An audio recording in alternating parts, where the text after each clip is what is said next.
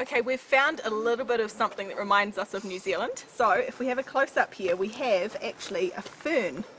Um, of course, you know, related to our silver fern, but just like to say it is on the slopes of Kilimanjaro and we're just on our way down. We're just about to complete our five days, six days of walking and it was, it, it's a beautiful fern, have to say, very beautiful.